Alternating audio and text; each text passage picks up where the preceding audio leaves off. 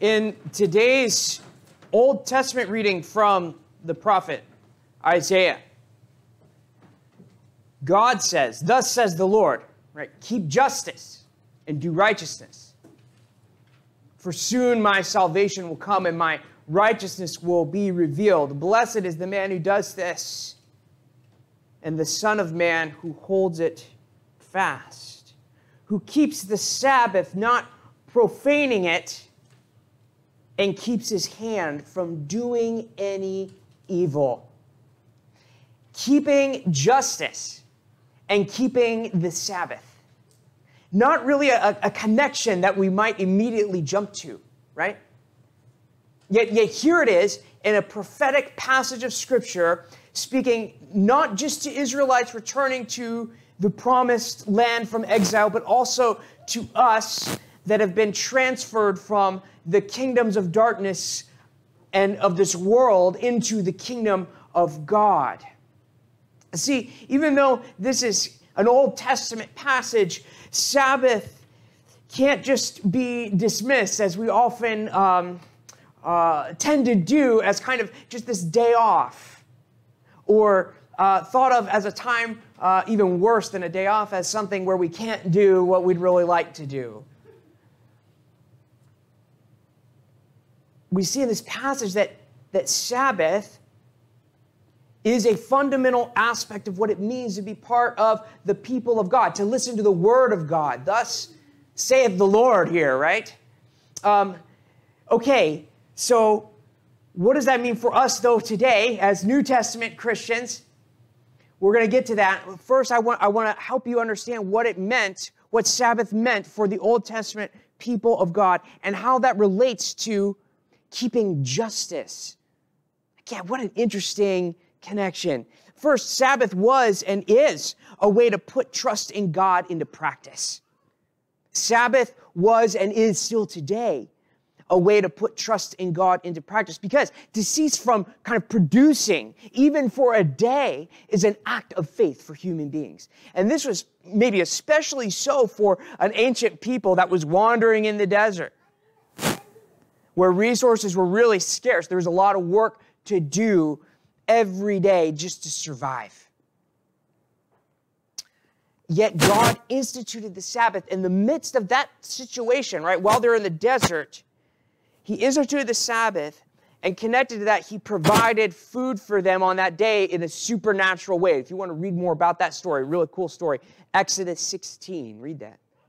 But He did that as a sign that they could trust Him for their provision, their daily bread, their salvation in that situation. Now, look, everybody's called to work as an expression of our care to others and our creativity as, as we're able and gifted and all that. But it's always God that ultimately provides for our needs. That's what that institution of the Sabbath was about. Um, and it's crucial, too, to how the people of God approach justice, and this is why. Because our basic posture of trust in God for all of our provision, every part of our life, not just our food on Sundays, but every part of our Saturdays, depending on when you're observing the Sabbath, uh, we, our, our trust in Him for our whole provision and our protection allows us to pursue God's vision of justice, which is always restorative and redemptive. And that's always a risk to us instead of punitive and retaliatory. So when we trust God, we can pursue a risky kind of justice that results in restoration, redemption, all that stuff. Instead of just trying to punish people, instead of just trying to retaliate, instead of just trying to get revenge. Okay, second, Sabbath was and is today a reminder that constant work is in fact oppression and slavery, whether that is other people imposing that on you or whether you're imposing it on yourself. Constant work is oppression and slavery, and God's people are not destined for that, they're destined for freedom. That's part of what the Sabbath is about. When God formally institutes the Sabbath, as a law for his people, and it existed prior to that. Remember, in creation, God creates and rests. So, I mean, there's, there's always been a Sabbath. Um, but, but he formally kind of puts it into law in Deuteronomy chapter 5. And listen to what he says. Listen to what God says. You shall remember that you were a slave in the land of Egypt, and the Lord your God brought you out from there with a mighty hand and an outstretched arm. Therefore, the Lord your God commanded you to keep the Sabbath day. You see how Sabbath is connected to their release from bondage in, in Egypt. As slaves, they had no concept of taking a day of rest. They were worked all day, every day. But God wants his people to know I've delivered you, and now you are free. You're not a slave anymore.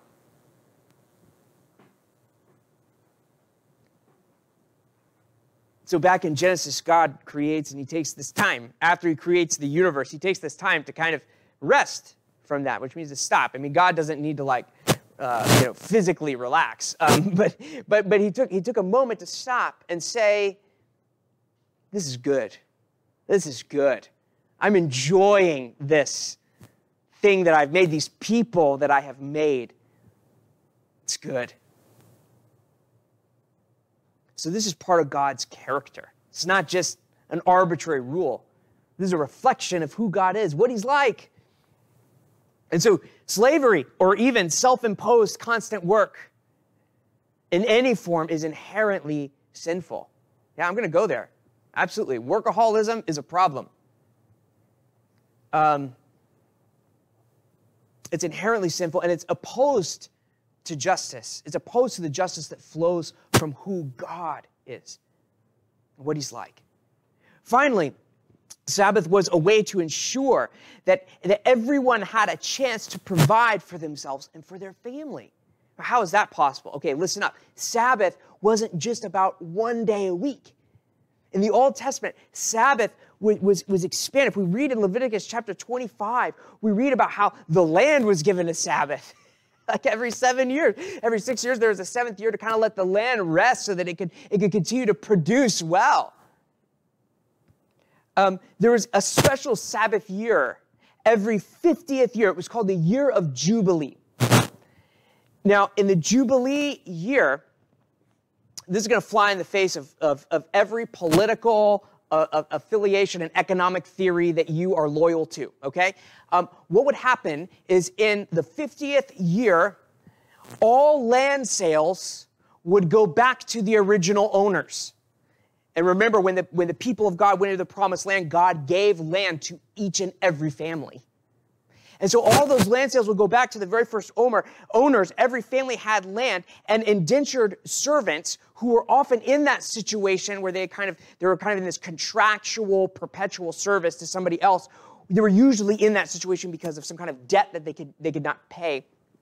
Um, they were completely freed in that year as well, and they were given a chance to start over. So it's kind of this once in a generation, if you think about it for 50 years, every once in a generation, there was this economic reset to keep the systems fair and to keep the poverty in check and to make sure everybody was cared for and provided for, kind of regardless of how dumb they had been or their family had been or whatever.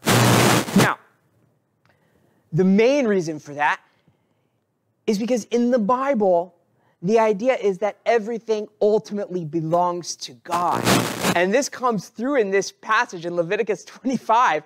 God says, Hey, uh, I know you're not going to like this, but just so you know, everything belongs to me anyways. And so this is how we're going to do it.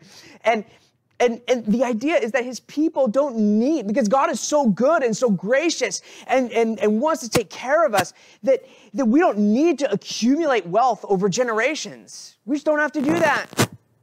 God's going to take care of us. So you see again that God's justice has to do with this deep trust in Him as our provider for a good future, not just today, not just in a week or in a year, but, but generations from now for our children. It's a lot of trust that God's asking us to put in Him, but you know what? He always, he always proves that He's trustworthy. We're going to get to that in a minute. See, look, you might think the Sabbath is this Old Testament concept. Okay, okay, Nathan, um, but it's no longer applicable to those of us that are under the new covenant, right? Like, you're in this old law stuff, Nathan. What's going on, man? But every part of the Old Testament is applicable to New Testament Christians. And this is why, because every part is fulfilled in Christ. So I want to I want to just walk through some of the ways that this we could think about this being fulfilled in Christ. Well, first of all, Jesus said, Matthew 12, 18, Jesus said he's Lord of the Sabbath. So is, is Jesus Lord of something that no longer applies to us? That's, that's what I want to know. Like, I don't think so. You know what I mean? Like, Jesus says he's Lord of the Sabbath. So, Sabbath, we, we, it's got to have something to do with us today. Well, what about the idea of trusting in God? That Sabbath was given to us to give us a way to trust in God. Well, Jesus himself gives us the ultimate reason to trust in God because he is God, come to us in the flesh, and he gave his own life as an act of selfless and, and, and loving uh, uh, uh, sacrifice to defeat death, even our own selfishness. He did that for us on our behalf. And, and despite what we deserve, God accomplishes justice in that moment with Christ on the cross. He weight of the sin of the world, not by punishing people. I mean, he condemned sin in the flesh in Jesus, but he doesn't punish people. He, he's forgiving and providing for people in that moment, even all the way to death. You see both how, how this, this, this brings us to a point of trust in the Lord because of what he's done for us, and also how it shows us what God's justice is like. In the power of the Holy Spirit, Jesus was raised back to life with this new and immortal body. I mean, still the same, but, but somehow different, perfected. And he, and he offers us a promise of that same kind of resurrection. We're going to get these bodies that last forever, and, and they're just going to be given to us as a gift. You get a body, you get a body, you get a body. Everybody gets a resurrection body when they trust in Jesus. It's going to last forever. It's not something that we earn, right? We, like, it's nothing that we do because of our constant work, but we receive that promise of resurrection, that hope of resurrection as a gift. It's something we receive freely. And again, look, I, I, would never advocate that, that, like, this is not about being lazy, okay? It's not that God doesn't have work for us to do. Of course, He does. And we say that at the end of the liturgy all the time, right? Lord, send us out to do the work you've given us to do, right? So God gives us work, but it's the kind of work that flows from who we are in Him. So it's not the kind of work that feels like this is this oppressive dread kind of thing. It's the kind of work that, that we were always meant to do. It's the kind of work that makes you feel free to do it because you're no longer afraid of death. And we do that work, and as we do that work, the, the gifts and the grace just keep coming in Jesus, which is why He's the fulfillment of Sabbath, which is itself a grace. Um, we are freely incorporated into a household of faith, into a church. And in that, we express imperfectly now. I mean, it's imperfect, I get that, but we, we express this rest, this household. We express that, that in, the, in the people of God, every need is met.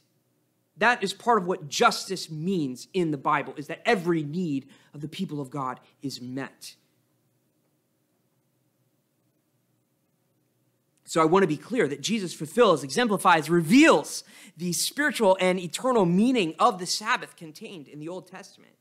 So there's an expansion there, there's a, a revelation there. It's beautiful. But he's not negating the physical and present implications of that Sabbath either. So at the start of his earthly ministry, of his earthly ministry, Jesus went to the synagogue on the Sabbath day. He goes on the Sabbath. He stood up to read. And the scroll of the prophet Isaiah, we were just reading from that ourselves, is given to him. So he unrolls the scroll and, and he turns to where it's written The Spirit of the Lord is upon me because he has anointed me to proclaim good news to the poor. He has sent me to proclaim liberty to the captives and recovering of sight to the blind, to set at liberty those who are oppressed to proclaim the year of the Lord's favor. See, when we are faithful to the Lord of the Sabbath, every year is a year of Jubilee in his house. Or at least has the potential to be. Again, part of that, part of how much we see that in the present before Jesus comes back has to do with how much we're going to trust him, how much we're going to give him. So, no, the, the, the, people of God are no longer under the specifics of Old Testament law. But we're still ca- called to trust God in the here and now. And we can't do that if we're always working and never resting. We're never going to be able to live justly until we allow the, the Sabbath to orient our lives towards God's justice. And that justice is a way of being. And I hope you've seen this today, this morning, already from the scriptures.